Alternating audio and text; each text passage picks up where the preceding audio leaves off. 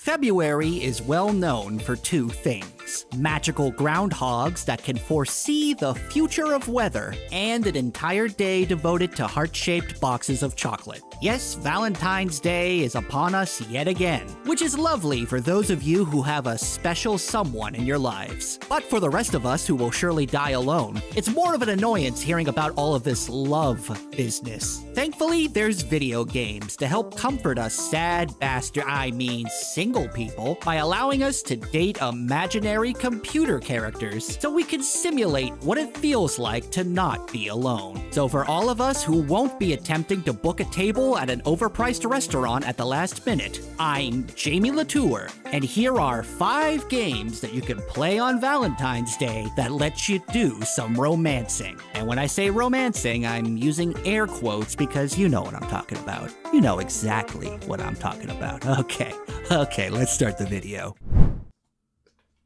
Let's start with the most romantic of time periods, ancient Rome, and the most romantic of game franchises, Assassin's Creed. Okay, maybe Assassin's Creed isn't the first series you may think of when it comes to love, what with all the stabbing and such, but there is much romance to be had in Assassin's Creed Odyssey. While your main mission is about finding your family and taking down an evil cult that's causing chaos across the country, that doesn't mean that there isn't time to just bang a whole lot of people you'll run into a bevy of overly attractive Greek people that you'll be willing to make time for in order to woo them in between your busy schedule of murder. Dating is surprisingly easy in this game. You just choose the dialogue option that's got the heart next to it, because the heart means love. Of course, dating is a bit more complicated than that, as you'll need to complete tasks for your special friends before you can get down to business. This includes things like killing a giant boar or some mercenaries, or sometimes you won't even have to kill anyone, you'll just need to gather some items, like a bear scrotum. And if you get that scrotum, you'll get to do it with an old lady while her husband waits outside. And then afterwards, he'll pay you as thanks for satisfying his wife. I love Rome. I love it so much that I'll mention another game that's set there Hades. This time, instead of being a boring old mortal, you get to be a god. A sexy god. In fact, pretty much every character in this game is sexy. The whole damn thing is just one giant thirst trap. Unfortunately, unlike Assassin's Creed Odyssey, your romance options are limited in Hades, since you know, you're related to like half the cast. So you can't just go after everyone in the game, which is a shame. One day I shall have you, Skelly. One day. But if you can't have quantity, at least you got some quality romanceable characters. As you can either date the hunky Grim Reaper, Thanatos, or Meg, who is your ex slash potentially future girlfriend slash first level boss that you have to fight a whole bunch, which kinda makes this whole thing seem a little bit awkward. You could even try to date a floating Gorgon head named Dusa, because Zagreus has some very eclectic tastes. Best of all, you could date them all at the same time because ancient Greece is very freaky. But enough about Rome. Let's move on to an even sexier time and place the 90s in fictional Los Angeles. There have been romance options in Grand Theft Auto games before, although they always tend to be rather sad, pointless, or they involve way too much bowling. Out of all the GTA games, the best one for romantical times is undeniably Grand Theft Auto San Andreas. And not for the reason you're thinking of. San Andreas lets you date a wide array of interesting ladies with PlayStation 2 model faces. Some just want to go to a fancy restaurant, some want to drive around indiscriminately shooting everyone who dares to walk on the street. Successfully striking up a relationship with one of these eligible bachelorettes will even earn you perks and rewards, which is the real reason that we all date, right? For perks and rewards?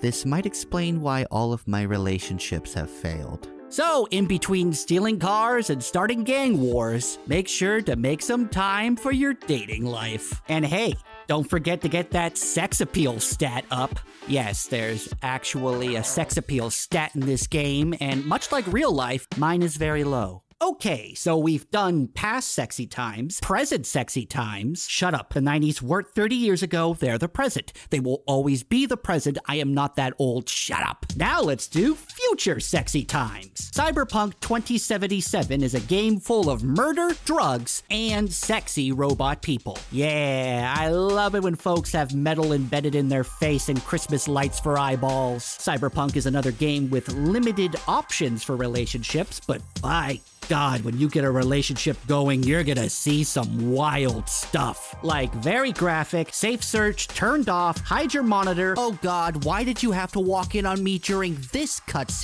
kind of stuff? There's romance options for everyone in this game, and you should be able to find a suitor that's suitable for you. It's just sad that you can't do it with Keanu Reeves. Unless, of course, you know where to find that mod. And finally, we have the truest form of love that you can find in a video game Space Love. The Mass Effect trilogy is everyone's favorite series of epic sci fi action adventure games slash workplace romance simulators. Commander Shepard may have the stressful task of taking down a race of sentient spaceships that have been exterminating all intelligent life in the galaxy in a perpetual cycle every 50,000 years. But that doesn't mean that they can't make time to get it on with one of their crewmates. I'm sure the Reapers will wait politely while I try to date my space secretary. Now, in the other games I've mentioned, you can date gods or robo people, but Mass Effect one-ups every other game in the romance department by letting you date attractive aliens. You could go full Captain Kirk and date a blue lady, or if you like mystery and the inability to touch your spouse, you could date Tali. Or if you like choosing the correct answer, you could date Garrus, which gives you a great cutscene of Mordin trying to figure out how you two can copulate without killing each other with your gross, incompatible bodies. There's so many options for romance in this series. You can even choose from a variety of lame humans. Did anyone actually date the Freddie Prinze Jr. guy with the mohawk? Because that's the wrong answer. So now, you don't need to be alone on Valentine's Day because you can strike up a passionate affair with one of these games. That's just as good as a real relationship.